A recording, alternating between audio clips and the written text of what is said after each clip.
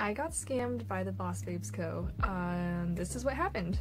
Hey guys, it's Tia. Welcome or welcome back to my YouTube channel. First of all, I want to say that I don't like making these types of videos where I'm exposing people, and normally I don't have a need to do it either, but we're gonna just have to do this. As a disclaimer, this is the experience that I've been having with this brand, and this is the experience of several girls and women who have DM'd me on Instagram asking for help.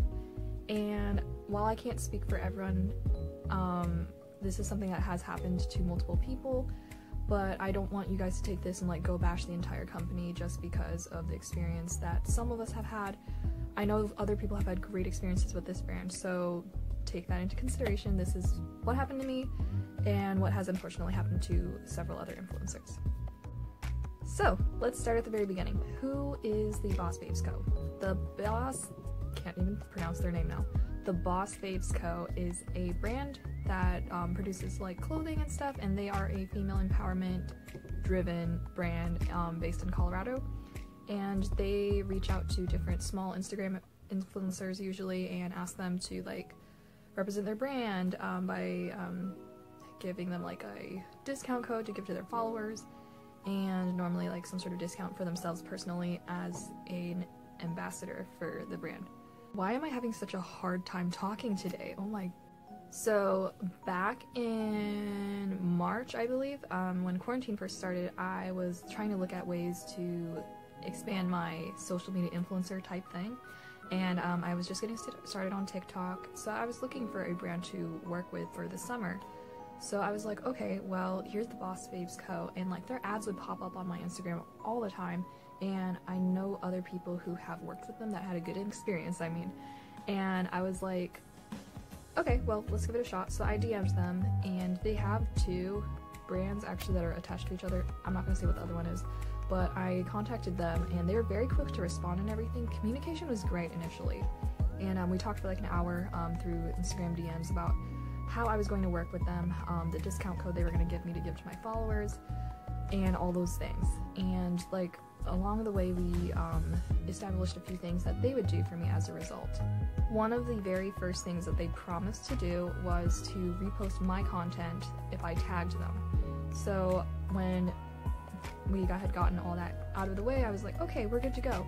Um, this is probably gonna be good, and I wasn't, I didn't see anything wrong right there at the start. And um, let's see, shipping actually wasn't so much of a problem. Um, some other people had said they had issues with shipping, but for me, um, it wasn't an issue. Um, shipping was pretty fast actually. They got my package to me in like six days, which was a lot faster than what most people experienced. And so when I got the package in the mail, I actually like, you know, took a picture of the package, blurred out my address obviously, and posted it on my Instagram story and tagged them um, they never saw my Instagram story. They never reposted it. So I was like, okay, maybe they just mean that it needs to be a feed post. So I did that. And they never made any acknowledgement of that the posts that I had been making involving them. So I posted on my story again of like me wearing the beanie that I had ordered. You guys probably remember that.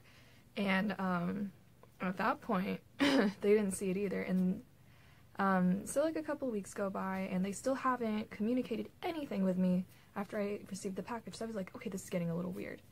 So, um, so I DM'd them and nobody responded. So I tried DMing them like again like a week later and since then literally nobody has responded. It is like the end of April, beginning of May at this point. And I was like, okay, this is really weird. It's been like over a month since I talked with them initially and they haven't carried out anything that they had promised to me. So it was a little bit weird. And I was like, okay, well, I'll still like post about the, you know, the discount code, which some of you guys have still been using it. So it's still down below, by the way, in the description box if you still want to use it. Because honestly, I will still give you guys the discount code. It's up to you guys what you want to do. Um, so at that point, um, my video that I posted initially about the brand did really, really good here on YouTube. It's gotten almost like 400 views, I think, at this point when I'm filming this video.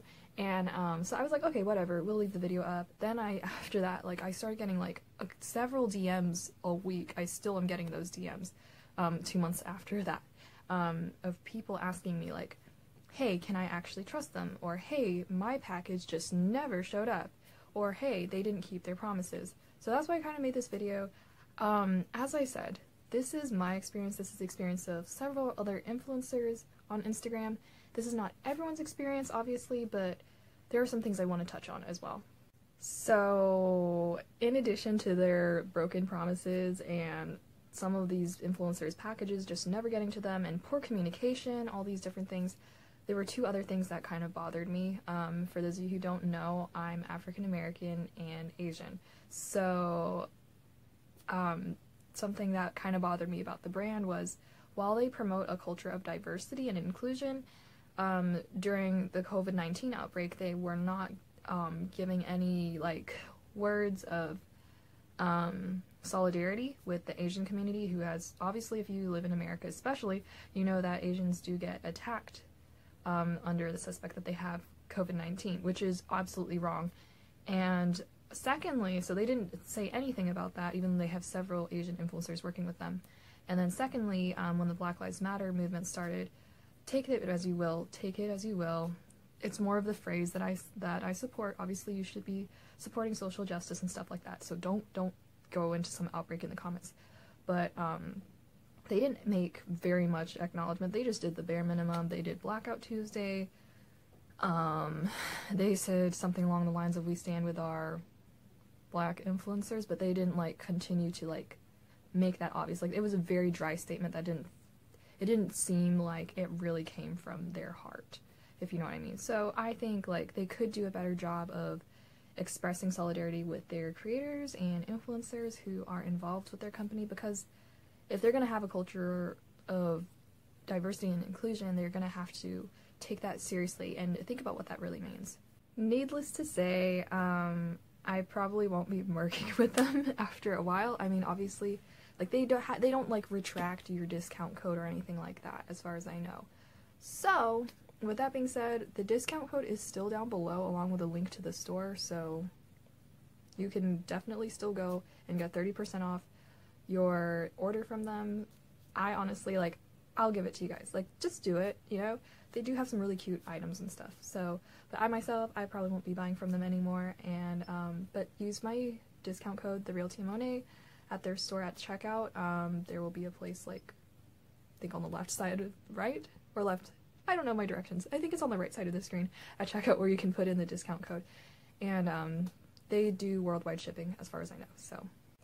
But um, for any fellow influencers who had questions about the Boss Babes Co., I hope that helped you guys. Um, for everyone else, um, please don't go um, after them. I know I have really strong supporters from TikTok who literally like pride themselves on going after people, but please don't um, like harass this company or any member any member or influencer that is involved with them that's not what the goal is this is just me sharing my experience and the experience of other influencers so um, everyone stay safe um, covid is still a real thing it's still going around so you know wear a mask social distance wash your hands please and um, yeah so all my social medias are linked down below, and don't forget to keep up with me on TikTok and Instagram. Those are my next most active social media platforms.